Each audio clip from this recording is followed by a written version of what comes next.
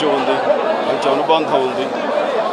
ఏ occasion వాళ్ళ ఇంట్లో జరిగినా సరే స్వయంగా వారి కుమారులు శివరాజ్ కుమార్ రాఘవరాజ్ కుమార్ అండ్ పునీత్ రాజ్ కుమార్ మా ఇంటికి వచ్చి స్వయంగా వాళ్ళు ఆహ్వానించేవాళ్ళు. అలాగే మాకు సంబంధించిన ఏ ప్రోగ్రాం జరిగినా సరే వాళ్ళు అతిథిగా పార్టిసిపేట్ చేసేవాళ్ళు.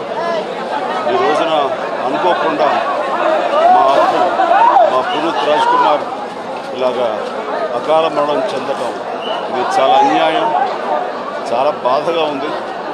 ఇది జీర్ణించుకోలేనటువంటి విషయం.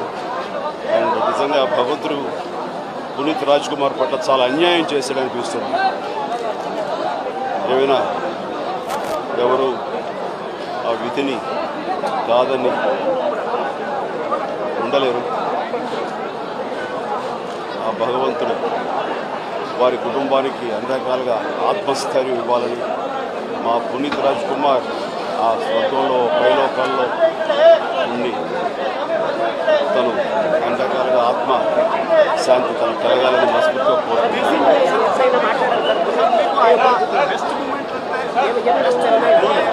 ఈ బెంగళూరుకి నేను ఎప్పుడు వచ్చినా ఏ కారణం దృష్ట్యా వచ్చినా నేను కుమార్ గారు ఉండగా వారి ఇంటికి వెళ్తుండేవాడిని వాళ్ళ బిడ్డలు అందరూ కూర్చోబెట్టి ఆయన మాకు మాతో గడిపేవాడు అది నాకు చాలా మంచి ఎక్స్పీరియన్స్ నాకు. అలాగే ఈ మధ్యకాలంలో కూడా నేను పునీత్ రాజ్ కుమార్ని కలిశాను అలాగే రాఘవేంద్ర రాజ్ కుమార్ కూడా. ఆ బిడ్డ బిల్డప్ కూడా వచ్చినప్పుడు పునీత్ రాజ్ కుమార్ దగ్గరుండి తీసుకుని ఆ రకంగా తన ప్రేమను కనబరిచాడు ఆ రకంగా పునీత్ రాజ్ కుమార్ని లైఫ్లో మర్చిపోలేము. అతను చాలా మంచి వ్యక్తి చాలా వినయం ఉన్న వ్యక్తి చాలా చాలా గొప్ప మనసున్న మంచి వ్యక్తి పునీత్ రాజ్ అందుకనే ఇంతమంది తిరిగి అతని గురించి చావు గురించి మరణించినందుకు ఇంతమంది బాధపడుతున్నామంటే కనుక అది మంచితనం కాదు.